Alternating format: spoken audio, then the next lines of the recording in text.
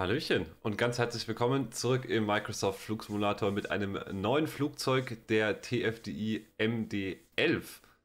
Dieses Flugzeug ist vor kurzem rausgekommen und ich freue mich sehr, jetzt heute mit euch mal einen Beispielflug durchzuführen. Wir stehen gerade in Leipzig und werden jetzt gleich rüber nach Luxemburg schippern. Kurzer Disclaimer noch vorweg, je nachdem wann ihr das Video schaut, kann es natürlich sein, dass sich dieses Flugzeug wieder ein bisschen verändert hat, dass manche Sachen anders funktionieren, besser funktionieren vielleicht weil das Flugzeug zum aktuellen Zeitpunkt noch in einem relativ frühen Stadium ist. Trotzdem funktioniert alles Wichtige. Ihr könnt das Flugzeug kaufen, wenn ihr das möchtet. Und es ist eine tolle Abwechslung zu den Flugzeugen, die man sonst im Flugsimulator hat. Alles weitere werde ich euch dann aber gleich im Flugzeug erklären. Die MD-11 ist ein Flugzeug, das es schon relativ lange gibt. Von McDonnell Douglas damals als Weiterentwicklung von der DC-10 gebaut worden und ist tatsächlich auch nur ein paar hundert Mal verkauft worden war viele, viele Jahre, wie ihr hier seht, für die Lufthansa Cargo im Einsatz und ist da mittlerweile ausgeflottet worden. Dort fliegt nur noch die 777-Frachtvariante. Aber zum Beispiel FedEx fliegt mit dem Flugzeug immer noch und auch dieses Flugzeug gab es mal als Passagiervariante. Wir wollen uns heute anschauen, wie man das Ding fliegt, wie man es von A nach B bekommt und auch so ein bisschen darauf eingehen, wie sich das Flugzeug aktuell zumindest verhält. Es kann ja immer noch sein, dass sich mit diversen Updates dann noch was verändert. Weil es ja ums Flugzeug geht, würde ich sagen, wir hüpfen direkt ins Cockpit und schauen uns an, wie wir unsere Flugvorbereitung machen. Im Cockpit angekommen, empfehle ich euch auch hier als allererstes mal ins Tablet zu gucken und da eure Flugplandaten einzugeben, beziehungsweise eure Simbrief-Daten in den Optionen, das Flugzeug so zu konfigurieren, wie ihr das gerne hättet. Es gibt die MD-11 nämlich auch in der militärischen Version, das heißt, so ein paar Optionen sind nur für Militärflugzeuge gedacht. Und je nachdem, was er fliegt, müsst ihr euch das dann halt einfach in den Optionen konfigurieren. Ansonsten haben wir hier auch die Panel States, wir haben Services, wir können die Karten über Navigraph hier aufrufen, wir haben eine Performance-Berechnung, wir können hier das Flugzeug beladen. Und hier können wir dann über Simbrief unseren Flugplan importieren. Jetzt möchten wir aber erstmal ein bisschen Strom auf den Flieger bringen, das heißt als allererstes gehen wir ins Overhead Panel, schalten hier unsere Batterie einmal an, die ist hier unter dieser Abdeckung versteckt und bevor wir die External Power draufgeben, machen wir es so wie bei anderen Flugzeugen auch. Wir gucken einmal, dass die Wiper aus sind. Wir gucken, dass unser Fahrwerk unten ist. Die Schubhebel sind auf Idle. Der Rest ist hier auch verstaut. Unser Wetterradar ist aus. Können wir auch nochmal hier auf Off drücken, um das zu bestätigen. Und die Fuel Cutoff Switches sind auch aus. Und das Flugzeug versucht auch nicht gleich irgendein Triebwerk zu starten, wenn wir da gleich Strom drauf bringen. Jetzt können wir die External Power hier oben in der Mitte mit dazu nehmen. Dann erwacht unser Flugzeug zum Leben und die Bildschirme unten werden hell und dann müssen wir jetzt noch so ein paar Tests machen, so ein paar Schalterchen drücken, bevor wir dann richtig loslegen können. Als allererstes müssten wir jetzt einmal unseren APU und Engine Fire Test machen. Dazu hier oben den weißen Knopf einmal gedrückt halten. Und einfach einen kleinen Moment warten und dann hören wir gleich auch die entsprechenden akustischen Ansagen.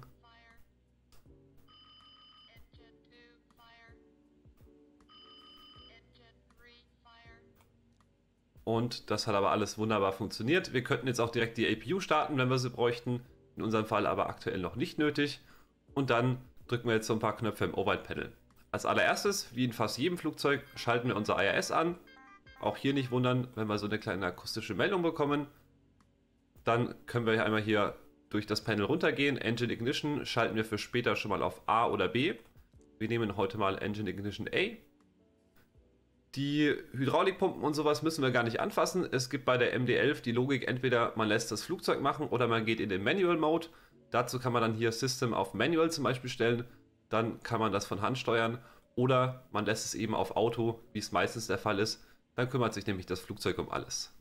Ansonsten ist hier unser Electric Panel. Da müssen wir einmal die Emergency Power auf Arm stellen. Und dann können wir hier weiter das Panel durchgehen. Hier haben wir das Air Conditioning. Da müssen wir aktuell noch nichts machen.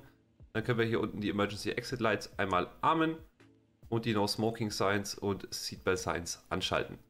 Je nachdem, ob es hell oder dunkel ist, schalten wir zu den Nav Lights dann auch vielleicht noch die Logo Lights mit an. Die restlichen Lämpchen bleiben aber erstmal aus.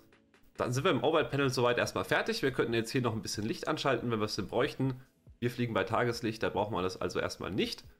Und damit das Flugzeug dann schon mal weiß, wo es steht, gehen wir hier einmal auf FMC 1, auf Flight Plan Init und drücken hier auf den Knopf Initialize IRS. Mehr müssen wir hier erstmal gar nicht machen. Wir können nochmal ganz kurz auf Menü FMC1 gehen und gucken, dass hier das richtige Flugzeug mit einer aktuellen Database hinterlegt ist.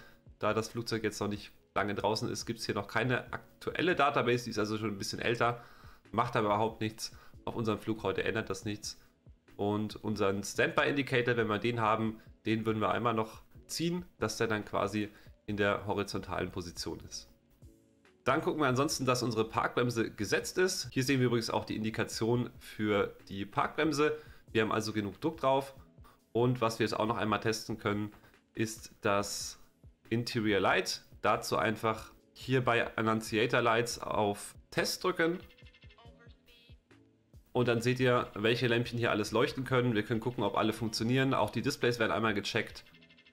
Aber hier schaut das alles gut soweit aus. Dann können wir uns auch schon dran machen, unseren Flugplan einmal reinzuladen. Dazu gehen wir ins Tablet, klicken hier auf Import Flight Plan, den zieht er sich dann von Simbrief. Und wie gesagt, heute geht es für uns von Leipzig nach Luxemburg mit der Charlie Hotel von der Lufthansa Cargo. Hier sehen wir auch schon unser Routing. Nefco to Sierra Departure nach Nefco, dann über verschiedene Wegpunkte und Airways bis zum Wegpunkt BTEX und dann auf die BTEX 4 Kilo Arrival.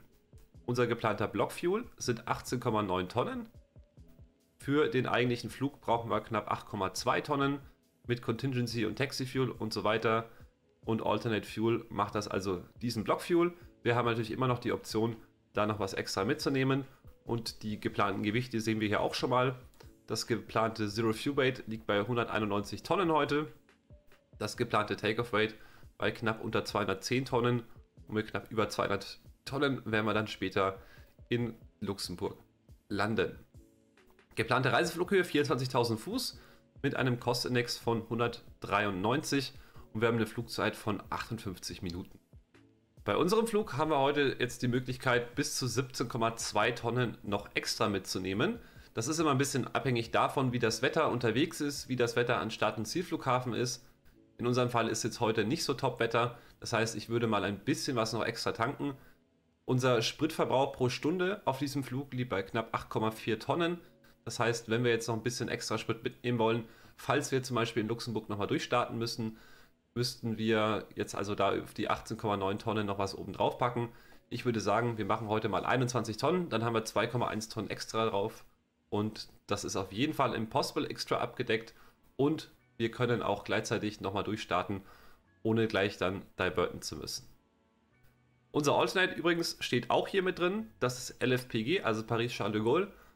Und dann können wir direkt nämlich hier auf Set Fuel und Set Payload theoretisch drücken. Da wir jetzt aber was extra mitnehmen möchten, klicken wir hier einfach auf Payload, sagen jetzt, wie viel Cargo wir dabei haben. Bei uns sind das heute 74.400 Kilogramm. Und statt der 15.000 Kilogramm Sprit, die jetzt hier mit drin stehen, möchten wir gerne 21.000 mitnehmen. Wenn wir das gemacht haben, klicken wir hier auf Set Payload dann sagt er uns, wir haben eine Load jetzt von 56%, unser Grossweight 208,1 Tonnen, also ein bisschen unter dem, was Simbrief fürs Takeoff Weight berechnet hat. Das macht aber überhaupt nichts. Und hier seht ihr nochmal die Payload und den Fuel, den wir eingegeben haben. Jetzt könnten wir das ganze Routing von Hand eingeben oder wir können uns das Leben leicht machen. Wir klicken einfach auf Dispatch und auf Send Flight Plan to FMC. Dann steht hier unten rechts Flight Plan Send. Das ist nochmal die Bestätigung, dass das funktioniert hat. Wenn wir nämlich jetzt hier auf Flight Plan Init klicken, dann sehen wir auch schon, der Departure Airport steht drinnen, der Arrival Airport steht drinnen. Zwar nicht alles ausgefüllt, aber das meiste ist zumindest schon mal da. Unser Alternate haben wir gesagt ist Charles de Gaulle. Den geben wir hier oben rechts ein. Die Flight Number ist die Lufthansa Cargo 2 Alpha Charlie. Die ergänzen wir hier links noch einmal. Und Cruising Flight Level ist 240. Wenn wir jetzt nachher planen würden, noch Step Climbs zu machen, könnten wir die hier noch hinten dranhängen. Brauchen wir in unserem Fall aber nicht. Und die Temperature, die können wir hier oben einfach ablesen. Wir haben es aktuell 14 Grad hier in Leipzig. Und unser Kostenex war bei 192. Den geben wir nach unten rechts einmal ein. Hier oben rechts seht ihr jetzt, wir sind auf Seite 1 von 3. Das heißt, wenn wir auf Page jetzt nach rechts klicken, dann haben wir hier die Gewichtsübersicht. Da können wir auch nochmal eingeben, was wir jetzt in unserem Fall für ein Zero Fuel Weight hatten. 191,2 waren geplant und 191,2 werden wir dann vermutlich auch haben. Das heißt, die können wir hier schon mal eingeben. Und Das CG für den Takeoff und das Zero Fuel CG, das können wir einfach gleich ergänzen. Davor geben wir noch hier oben den Blockfuel von 21 Tonnen ein. Und um die jetzt zu ergänzen, klicken wir einfach einmal daneben. Dann zieht sich der Flieger die Werte, die er aktuell hat. Beziehungsweise hier stehen sie auch schon mal. Und dann würden wir normalerweise jetzt den Alternate Fuel noch anpassen. Das geht in der Version jetzt aktuell noch nicht. Kann sein, dass es bei euch funktioniert. Dann würden wir da jetzt eben den Alternate Sprit nach Charles de Gaulle noch eingeben.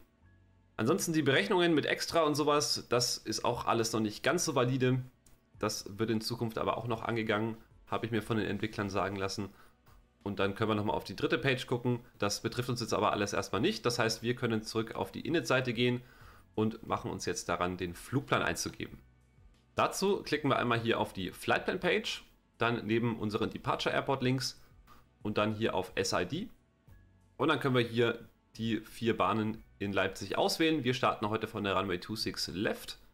Dann bekommen wir auch gleich alle dazugehörigen Departures angezeigt.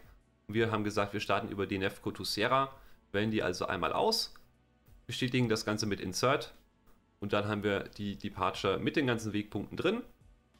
Dann können wir uns hier einmal durchklicken, dann kommen die ganzen Wegpunkte, die wir unterwegs überfliegen werden, bis zum Top of Descent, den sehen wir hier auch schon. Dann sehen wir jetzt hier den letzten Wegpunkt Bitbu. Unsere Arrival sollte eigentlich ab dem Wegpunkt Betex losgehen. Das macht aber überhaupt nichts, weil bei Bitbu gibt es auch eine passende Arrival. Das heißt, wir klicken jetzt einmal hier neben den Arrival-Flughafen, klicken dann auf Star für die Arrival-Route, sagen jetzt, welche Arrival, also welche Bahn wir gerne hätten. Das ILS 24 Zulu hätten wir gerne und über die Bitbu to Delta Arrival soll das Ganze gehen. Jetzt haben wir hier noch die Möglichkeit, verschiedene Transitions auszuwählen. Also wie wir quasi vom Ende der Arrival auf den Anfangspunkt unseres ILS kommen.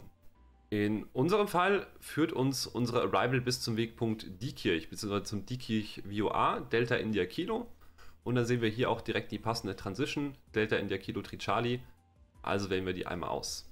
Wenn ihr euch nicht sicher seid, was ihr auswählen sollt, guckt ihr entweder in euren Flugplan, wie da der letzte Wegpunkt heißt, vor dem eigentlichen Zielflughafen. Also da in dieser Tabelle unten, wo ihr genau seht, wann ihr welchen Wegpunkt überfliegt, mit wie viel Sprit und so weiter. Oder ihr guckt einmal in die Karten rein, auch da seht ihr dann, wo eure Arrival endet. Jetzt können wir das Ganze hier auch wieder mit Insert bestätigen und dann haben wir schon unser komplettes Routing drinnen. Jetzt klicken wir nochmal auf Flight Plan, um direkt ganz oben zu sein. Und jetzt können wir hier wieder wie gewohnt in den Plan-Modus wechseln und hier mit den Pfeilen uns einmal durch das Routing klicken. Es geht also erstmal Richtung Südwesten, dann biegen wir Richtung Westen ab. Es geht an Frankfurt vorbei und dann geht es hier auf die Arrival. Schaut alles noch ein bisschen sehr dynamisch aus. Das heißt, wir können das später noch so ein bisschen abkürzen. Auch da braucht man natürlich wieder die Freigabe vom Lotsen dafür. Aber für uns macht es ja jetzt Sinn, vom Wegpunkt Bitbu vielleicht auch einfach direkt abzukürzen nach Lima X-Ray 24 India. Jetzt funktioniert das alles eher so ein bisschen wie im Airbus, auch wenn McDonnell Douglas mit Airbus natürlich gar nichts zu tun hat. Und zwar müssen wir die Wegpunkte, die wir jetzt nicht mehr haben wollen, also zum Beispiel die Kirche, einmal rausklären. Dann haben wir automatisch diese Discontinuity, also die Unterbrechung hier im Flugplan. Und dann können wir sagen, okay, den nächsten Wegpunkt wollen wir auch nicht. Den da wollen wir auch nicht.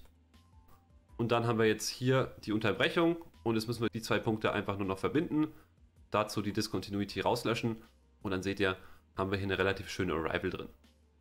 Dann haben wir das schon mal gemacht. Routing passt also soweit. Wir können wieder aus dem Plan-Modus rausgehen. Klicken dazu einfach hier auf Map. Und jetzt müssen wir nur noch die restlichen Seiten hier ausfüllen.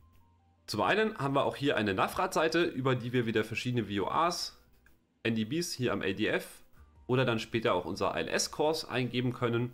In unserem Fall fliegen wir aber eine ANAV-Departure, das heißt, wir fliegen einfach nur GPS-Wegpunkte ab, brauchen also keine Funknavigation dafür. Sonst hätten wir die jetzt hier noch ergänzt. Und dann gehen wir als nächstes auf die Takeoff Approach Seite und hier müssen wir jetzt einmal unsere Takeoff Performance eingeben. Um die Takeoff Performance herauszufinden, wechseln wir wieder rüber ins Tablet. Da haben wir ja hier dieses Performance Tool drin und da müssen wir jetzt einmal die nötigen Daten eingeben. Das heißt, wir starten von der 26 Left. Die Runway Länge könnte man jetzt hier noch eventuell verändern, falls man eine Intersection Takeoff macht. Und die Wetterinformation kann man sich hier direkt einmal ziehen. Unser geplantes Takeoff-Rate können wir hier nochmal nachgucken. Das waren 209,4 Tonnen plus nochmal die knapp 2 Tonnen, die wir extra hatten. Das heißt 211, wir rechnen mal mit 212 Tonnen. Wir wollen ja immer konservativ rechnen. Thrust Setting können wir entweder einen Flex Takeoff oder einen äh, Derated Takeoff hier auswählen. Wir wählen heute mal einen Flex Takeoff aus. Anti-Eyes brauchen wir nicht, deswegen steht das hier auf None. Flaps könnten wir jetzt entweder ein bestimmtes Setting vorwählen oder wir wählen einfach Optimum und die Packs werden anbleiben zum Takeoff. Was wir auch machen können, ist einmal Get Takeoff Weight drücken. Dann seht ihr, mit den 212 Tonnen lagen wir gar nicht so verkehrt. Und dann drücken wir hier unten auf Calculate und dann wirft uns der Flieger die Werte raus. Wir werden starten mit einer V1 von 137, einer VR, also einer Rotation Speed von 150 Knoten und einer B2, der Safe Climb Speed von 154 Knoten. Das Ganze mit einer Flex Temperature von 59 Grad und einem Flap Setting von 24,5. Jetzt werdet ihr euch vielleicht zu Recht fragen, okay, wie soll denn das funktionieren? Flap Setting von 24,5. Die MD11 hat tatsächlich ein bisschen besondere Flaps, die gucken wir uns gleich mal an. Aber davor geben wir diese Werte jetzt einmal ein. 137 Knoten ist die V1, 150 Knoten die VR und 154 Knoten die V2. Flap Setting waren 24,5. Geben wir hier einmal drüber ein. Packs können wir hier auf On oder Off wählen. Wir wählen heute Packs On. Und Flex Temperature sind 59 Grad. Der Slope damit ist quasi die Steigung der Bahn gemeint. Auch das können wir hier aus dem Tablet rauslesen. Hier haben wir nämlich einen Slope von 0,4 und wir sehen auch hier, wir haben einen Headwind von einem Knoten. Beide Informationen brauchen wir jetzt einmal. Das heißt, wir geben hier 0,4 Schrägstrich 1 an. Dann haben wir nämlich den Slope und den Headwind. Geben das einmal mit ein und wir haben 14 Grad Outside Air Temperature, OAT. Jetzt kommt erstmal ein Format Error, das ist aber auch okay, weil der Flieger ja sowohl in Grad Celsius als auch in Grad Fahrenheit verwendet werden kann. Das heißt, wir müssen jetzt einfach noch ein C hinten dranhängen und schon erkennt er, okay, der Kollege meint Grad Celsius und dann passt das. Jetzt müssen wir nur noch die Höhen für die Thrust Reduction und die Acceleration auch für den Fall des Engine Out hier festlegen. Das Ganze machen wir einfach heute in 1000 Fuß über Grund. Leipzig liegt auf 500 Fuß, das heißt 1500 Fuß geben wir jetzt hier einmal ein bei allen drei Feldern und dann sind wir nämlich hier soweit auch schon mal fertig. Ansonsten über Thrust Limits könntet ihr dann auch noch festlegen, wenn ihr einen Derated Takeoff 1 oder 2 machen würdet. Das könnt ihr dann hier auswählen. Derated Takeoff 1 ist 10% reduziert und Takeoff 2 20% reduziert. Auch das könnt ihr übrigens im Tablet konfigurieren, wie stark er da reduzieren soll. Das letzte, was wir jetzt noch machen müssen, ist einmal auf Secondary Flight Plan klicken. Dann machen wir hier Copy Active und damit haben wir quasi unseren Flugplan hier jetzt im Secondary Flight Plan, wie wir es aus dem Airbus kennen, nochmal als Backup gesaved. Falls nachher irgendwas sein sollte mit dem primären Flugplan, könnten wir jederzeit auf den hier zurückgreifen und dann damit quasi weiterfliegen. Dann sind wir mit der Flugvorbereitung im FMS bzw. FMC soweit jetzt erstmal fertig. Wir können zurück auf die Init-Page gehen und machen uns jetzt daran, hier einmal noch ein bisschen was einzustellen. Wir müssen hier einmal auf Inch bzw. Hektopascal drücken, dass wir hier unten dann auch das für uns bekannte Format angezeigt bekommen. Und dann können wir uns jetzt hier das aktuelle QNH von 1008 in Leipzig einmal einstellen. Dann seht ihr auch Platzhöhe ungefähr 500 Fuß. Das passt. Dann müssen wir unsere V2, also die letzte Geschwindigkeit, die wir vorhin eingegeben haben, hier einmal eindrehen. Das waren in unserem Fall 154 Knoten. Damit der Flieger die dann auch später hier auf unserem Speedband links anzeigt. Unser Heading stellen wir jetzt auf das Runway Heading. Das sind bei uns 261 Grad. Und wir müssen noch einmal die erste Flughöhe, auf die wir steigen dürfen, festlegen. In Leipzig auf unserer Departure ist das Flight Level 70. Das heißt 7000 Fuß drehen wir hier auch einmal ein. Und dann haben wir hier das MCP schon mal vorbereitet. Und jetzt könnten wir uns auch noch einmal die Karten zusammen angucken. Dazu gehen wir hier einmal ins Tablet rein und können dann hier auf View Arrival Airport Charts oder View Departure Airport Charts klicken. Das Ganze funktioniert nur, wenn ihr Navigraph habt. Dann könnt ihr das Ganze hier mit dem Tablet verbinden und euch dann hierüber die Karten anzeigen lassen. Das Blöde ist leider, dass aktuell sich das Flugzeug noch nicht den Anmeldecode für euch merkt. Das heißt, ihr müsst auch jedes Mal, wenn ihr den Flieger neu ladet, zumindest zum aktuellen Zeitpunkt in Navigraph hier wieder neu anmelden. Habe ich jetzt einmal schnell gemacht, deswegen der kurze Cut. Und dann können wir hier einfach auf View Departure Airport Charts klicken und dann sehen wir jetzt hier alle Karten für Leipzig. In unserem Fall holen wir uns jetzt erstmal die Parking Stand Karte. Wir stehen jetzt hier am Südterminal. Wir machen unseren Pushback dann, sodass unsere Nase Richtung Taxiway Victor zeigt. Und dann biegen wir einmal rechts auf den ab, rollen hinter bis Sierra 10 zum Holding Point für die 26 links. Für die hatten wir ja auch geplant. Und dann können wir mit der vollen Bahnlänge von 3600 Metern hier starten. Können wir auch hier in der Karte nochmal sehen. Der Takeoff mit einem relativ leichten Flieger für die MD-11 oder zumindest keinem super schweren Flieger auf einer 3600 Meter Bahn ist unkritisch. Für alle roten Warnungen, die durchkommen, können wir bis V1 problemlos abbrechen. Sollten wir schon zu schnell sein, fliegen wir erstmal geradeaus weiter und steigen auf 3000 Fuß. Warum 3000 Fuß? Wenn wir jetzt hier mal auf SID klicken und auf die Nevco to Sierra, unsere Departure, dann seht ihr, die führt uns bis zum Wegpunkt Desan und dann hier in einem Bereich, wo wir eine MSA, also eine Minimum Sector Altitude, von 2800 Fuß haben. Das heißt, wenn wir auf 3000 Fuß steigen, sind wir auf einer sicheren Höhe unterwegs. Dann können wir hier innerhalb von den 25 Meilen problemlos eine Linkskurve drehen, hier in den Gegenanflug gehen und dann zurück nach Leipzig kommen. Wenn alles nach Plan läuft, fliegen wir auf Track 262 geradeaus zum Wegpunkt, wie gesagt, der Desan heißt. Dann biegen wir links ab nach Delta Papa 551 und dann geht es runter nach Nevco. Unser Initial Climb habe ich euch ja schon gesagt, Flight Level 70. Und was auch immer wichtig ist, ist die Transition Altitude, also die Höhe, wo wir von Lokalluftdruck auf Standardluftdruck umstellen, sind in Deutschland immer 5000 Fuß. Und um das Ganze fliegen zu dürfen, brauchen wir ANAV 1, wir brauchen ANAV an sich, Capability, und wir brauchen ein DMI. Das Ganze ohne das Trägheitsnavigationssystem wäre nicht erlaubt, haben wir aber vorhin eingeschalten und deswegen dürfen wir die so fliegen. Hier steht es noch, wir müssten München Radar rufen, wenn uns der Tower darauf hinweist oder dazu auffordert. Und maximal 250 Knoten. Innerhalb des Airspace Charlie gilt das nicht. Aber ansonsten fliegen wir das ja eh ohnehin immer below Flight Level 100. Ansonsten sehen wir hier unten noch mit knapp über 1600 Fuß das höchste Hindernis im Sektor. Aber damit sollten wir auf jeden Fall nicht in Konflikt geraten. Da sind wir mit dem EFB erstmal fertig. Jetzt können wir noch einmal schnell hier rüber gehen, können hier die Autobrake auf Takeoff stellen. Und apropos Takeoff, wir haben ja gesagt, wir möchten starten mit Flaps 24,5. So, jetzt können wir natürlich nicht hier 24,5 auswählen, aber die MD-11 hat ein Feature, was gefühlt kein anderes Flugzeug hat, nämlich eine flexible Flaps für den Takeoff.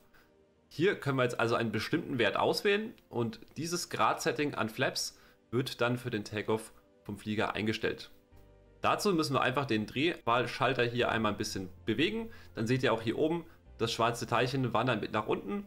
Und hier stellen wir jetzt die 24,5 Grad Klappensetting ein, die wir dann für den Takeoff gerne hätten. Und dann wählt der Flieger auch genau dieses Setting aus. Ansonsten haben wir noch hier eine Klappensetting 0. Das bedeutet, die Flaps sind auf 0. Da fahren nun die Slats, also die Vorflügel aus. Dann haben wir noch Flaps 28, Flaps 35 und Flaps 50 sogar, was auch einzigartig bei der MD-11 ist. Da stehen die Landeklappen dann wirklich fast senkrecht. Das passt soweit, wenn wir eh schon hier unten sind, können wir noch einmal das Altitude Reporting auf On stellen. Wir können das TICAS einmal testen. Selbiges auch schon mal auf Above stellen, dass wir hauptsächlich den Verkehr über uns angezeigt bekommen. Und dann habt ihr gehört, den Test haben wir gepasst, also haben wir bestanden. Das ist immer gut zu hören. Und dann testen wir jetzt auch einmal das Ground Proximity Warning System hier oben. Auch einmal den Schalter kurz auf Test. Dann könnt ihr ihn wieder auf Norm stellen. Und dann geht das System in den Selbsttest. Und ihr hört ein paar akustische Alarme, die wir hoffentlich heute im Flug nicht hören werden. Jetzt gucken wir noch einmal hier drüben. Hier wäre die Oxygen Mask. Die können wir leider noch nicht testen. Das hätten wir sonst auch noch einmal gemacht. Und ansonsten die Quantity-Stände vom Öl haben wir einmal gecheckt. Bei 22 vollkommen okay.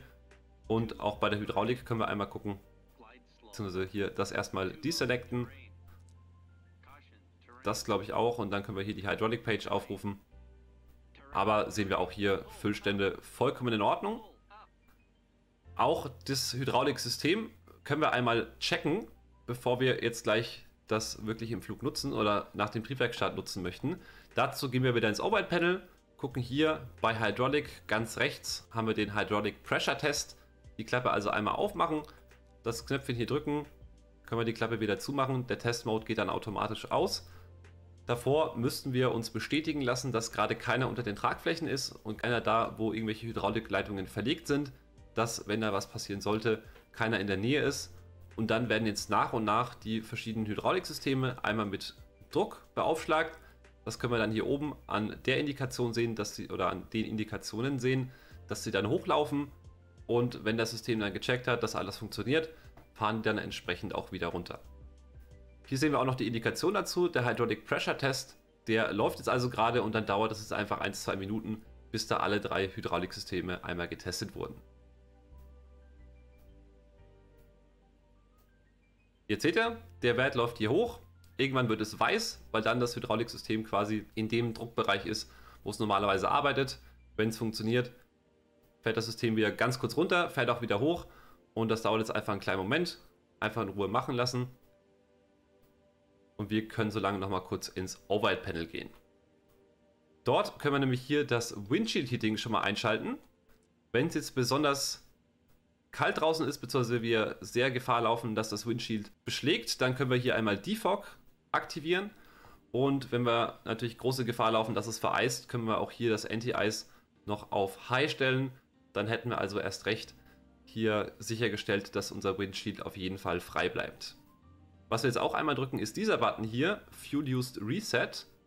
Wenn wir da nämlich einmal draufdrücken, dann resetten wir den Wert vom verbrauchten Sprit des Flugzeugs. Und das möchten wir einmal vor jedem Flug machen, dass unser verbrauchter Fuel jetzt auch wirklich nur für diesen Flug angezeigt wird. Jetzt habt ihr gesehen, das Hydraulic Pressure Light hier oben ist wieder ausgegangen. Der Test ist also fertig. Dann können wir auch hier aus der Hydraulic Page theoretisch wieder rausgehen, können uns die Engine Page wieder aufmachen die brauchen wir dann gleich für unseren Triebwerkstart. Und ihr seht ja noch aktuell, unser Stabilizer Trim ist noch in einem Bereich, wo wir ihn nicht haben möchten. Den müssen wir dann also noch entsprechend später einstellen. Aktuell haben wir ein CG von 24,5. Das heißt, wir stellen einmal unseren Trim ein. Ihr seht, irgendwann wandert das dann hier in den grünen Bereich. Und dann können wir das so also akzeptieren. Wenn es im orangenen Bereich wäre, dann dürfen wir damit nicht starten. Wie man jetzt genau auswählt, welchen Stabilizer-Trim man hier auswählen muss, kann ich euch leider nicht sagen. Es gibt hier nicht wie beim Airbus irgendwie Indikationen dafür oder so.